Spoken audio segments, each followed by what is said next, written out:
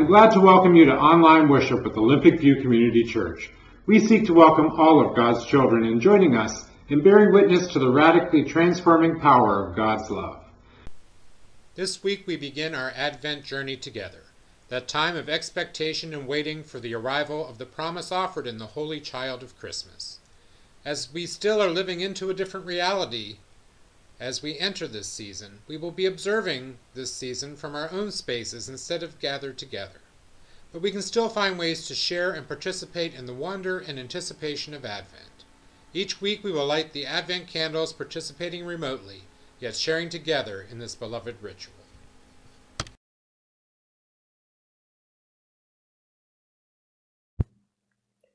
In a world of war, famine, and pandemic, where children grow up as orphans, where families go hungry, and entire regions face destruction by illness.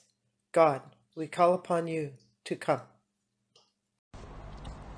In a world where so many have lost hope, we call upon you, Lord of hope, to come. In the season of Advent, we wait for the coming of hope into our world. We await the birth of the Christ child, the coming of God into our lives in a new way. Come, Messiah. Come and save us. Dear God, we pray for the hope that is in Christ to come into our lives in a new way. We await the birth of the Christ child, the coming of God into our lives in a new way. Amen.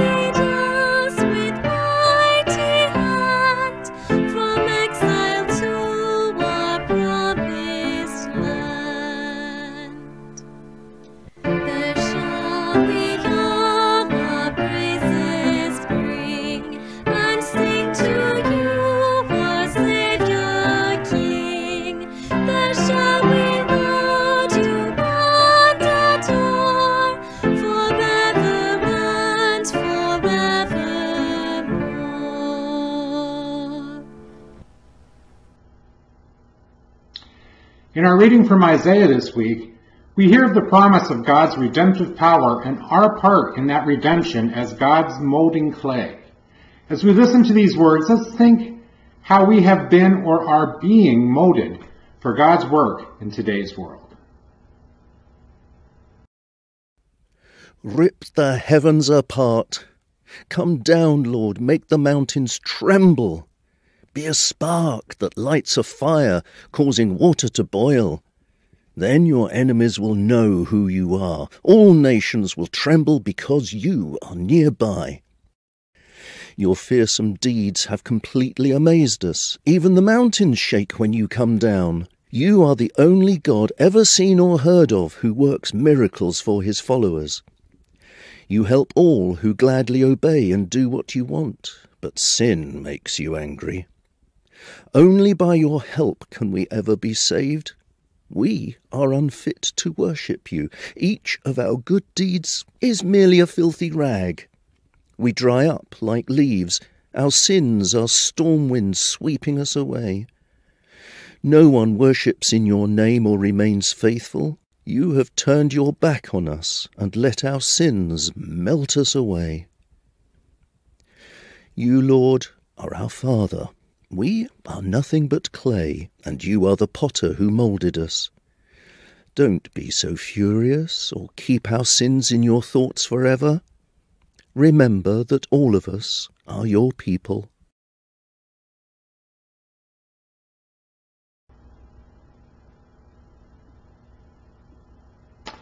Today we come together as a community to share our joys and concerns and lift them to God in prayer. If you would like to share a specific requests to be included in our communal prayer time, please leave a comment in the video below or email myself at vicarglenn at gmail.com and I'll make sure to include that request in next week's service, as well as send a prayer chain email if that's what you would like. So this morning, we lift up our sister Tammy Warden as she travels to Utah to perhaps begin a new chapter in her life. We pray for safe travels and success in her new endeavors. But we also keep Matthew Schultz close to our hearts and in our prayers as he begins his fight with colon cancer that unfortunately has spread to his lungs, liver, and, and spleen. Let us also remember Goldie Barnes and her extended family with the pastor of her, passing of her sister Shirley this week from lung cancer. But we can also take joy in being able to provide Thanksgiving meals for 69 families this week, serving 300 people. Let's bring these concerns and joys and others in our lives to God together in prayer.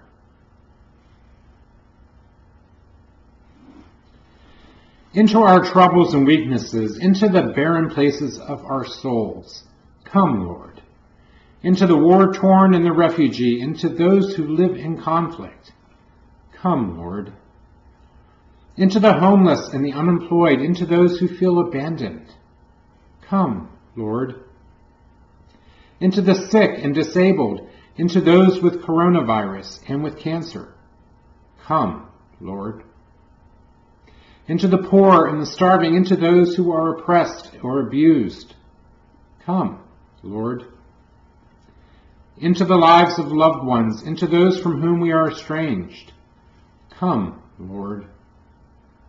Into our joys and celebrations, into our work and our achievements. We ask you to come, Lord Come down, come in, come among us and make us whole. O Christ, we long for your coming. Hasten that day when those who seek you in every nation will come from the east and the west, from the north and the south, and sit at a table in your kingdom. Hasten the day when your kingdom will come in all its glory, and suffering and pain, sickness and oppression and death will be overcome forever. Hasten the day when we will be resurrected as a great multicultural family and live in peace, harmony, joy, and love together in your kingdom. And help us to be your clay and be modeled to bring glimpses of that kingdom to the here and now. Amen. In our gospel lesson this morning, Jesus presents an apocalyptic version of things to come. As we listen to these words from Mark, let's think about what hope we find in the redemption to come and how we share that hope with others. No one knows the day or the time. In those days, straight after that time of suffering, The sun will become dark, and the moon will no longer shine. The stars will fall, and the powers in the sky will be shaken. Then the Son of Man will be seen coming in the clouds with great power and glory. He will send his angels to gather his chosen ones from all over the earth. Learn a lesson from a fig tree. When its branches sprout and start putting out leaves, you know summer is near. So, when you see all these things happening, you will know that the time has almost come. You can be sure that some of the people of this generation will still be alive when all this happens. The sky and the earth will not last forever, but my words will. No one knows the day or the time. The angels in heaven don't know, and the Son himself doesn't know. Only the Father knows. So watch out and be ready. You don't know when the time will come. It is like what happens when a man goes away for a while and places his servants in charge of everything. He tells each of them what to do, and he orders the guard to keep alert. So be alert. You don't know when the master of the house will come back. It could be in the evening, or at midnight, or before dawn, or in the morning. But if he comes suddenly, don't let him find you asleep. I tell everyone just what I have told you. Be alert.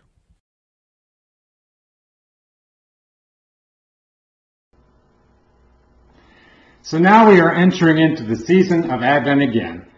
That time every year when we talk a lot about waiting, anticipating, and keeping awake and ready.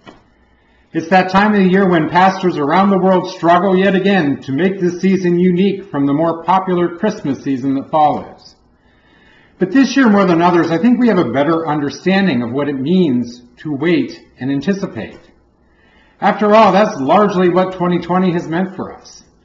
We've been waiting for the COVID-19 numbers to get better, for the restrictions to be eased, for a vaccine, for the results of the election. We've been waiting for a return to normal from many perspectives. With all the drama and stress that this year has brought, we may think it redundant to be told to keep awake and vigilant. Most of us are already operating in a state of sleep deprivation and overcaffeination. In a, nor- in a normal year, our lists of tasks would be growing to a fever pitch, both in the church and the secular world, as we prepare and host or attend holiday gatherings, shop for Christmas presents, decorate our homes and the church. While family gatherings may be smaller or virtual, and our church is still online, unfortunately, we often seem as a culture to be programmed to work only in high gear, to only be able to function at maximum capacity. From that perspective, it seems ludicrous to tell us to stay awake. That's what we have become mas- that's what we have become masters of in an overstimulated social media driven world that still promotes the excitement of Black Friday consumerism. But let's be clear, while the world's busyness may seem to be pointed to Christmas, even during a pandemic, it is seldom pointed toward the coming of the Christ child. As Advent progresses, the number of shopping days left before the big day offers a countdown that often stresses us out and keeps us up late. These days we are startled into extra hours of wakefulness in a liturgical season that is annoyingly presumes we might be asleep. No matter how we often tune it out, like teenagers hearing a parent's repetitive lecture and knowing that mom simply doesn't understand. But of course God does understand. In this way, the scripture from long ago reads us, not the other way around. In Advent, we are indeed asleep to much of what matters. Like the people who have lived by the train tracks for years, we no longer hear the sound of the train. For many of us, after years in church, we get used to the noise of Advent, to the coming of Christ, so much so that we no longer notice it. Or if we do, it no longer jolts us awake and has become instead a low, dull rumble. New members who have been away from sacramental life return to the season of Advent with delight and wonder as the purple vestments and Advent wreath appear. But after a few years, these signs of the season often become mere decoration. Yet this year is a little different, isn't it? What were the routine and rote traditions and rituals that often faded into the background are suddenly absent. We now feel a sense of loss at what was and wonder if we will ever be able to recover the normal that seems so distant. In a time meant to pr- promote hopefulness, we often find ourselves feeling hopeless. In a way, our current crisis has refocused our attention back to the true meaning and purpose of Advent. This morning's scriptures are a testament to the promise that, that this season holds. Both readings were written for people who were going through particularly tough times. In Isaiah, the readers were those Jews who had been exiled to Babylon. They had lost everything, their homes, their temple, even their God, it seemed. Yet they hold on to the promise that God will forgive and redeem them, that they are clay yet to be molded to God's purpose. In our gospel from Mark, the lesson from Mark, the audience would have recently witnessed the Roman destruction of Jerusalem and the Second Temple, and most would be living in the exile of the diaspora, permanently separated from all that had defined their lives and their faith. Drawing from the apocalyptic imagery of Daniel, Jesus gives a dramatic image of end times and judgment, and all too often, we get caught up in those signs as a roadmap for the end of things and try to seek hope in seeing ourselves as the last generation before Christ's return. To read these texts as timelines of the future is to miss the point. It's not the specific details that matter, but the overall promise of God's providence. Bad things will happen in our lives. We will struggle, sometimes seemingly without the promise of redemption. But these stories always end with God's resolution. The faithful are redeemed. Things are made right in the end. That's the hope to focus on. This year, much like the ancient Judeans, we too seem to have lost our way of life. Our temple is no longer available to us as it used to be. We have that same sense of loss and hopelessness of being exiled for much that is normal. But in these stories, we can find comfort that we are not alone, that others have gone through similar circumstances and come through the other side. When we read the stories of suffering and tribulation in the Bible, too often we focus on what we consider to be the senseless suffering, and we lose the promise of the redemption that follows. We miss the hope part. And even more tragic, we often miss the role we play in bringing about that hope. That's why I like this morning's passage from Isaiah so much. We are God's clay. We are to be molded to be vessels that carry the faith and the hope of that faith. The promise that we are not forsaken, that God is at work through us to bring hope. The question is, will we allow ourselves to be transformed into something we may not anticipate? We can wallow in the loss of what was, or we can step into the promise of what can be. Times like these are watershed moments. Will we seek God at work in new ways and join that work? Or will we just give up with, in wistful resignation?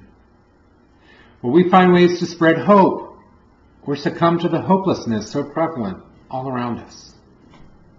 I hope and pray that together we allow ourselves to be molded into the body of Christ, the beacon of hope that our Creator calls us to in this time and place a shape that may be much different from the old normal that we pine for.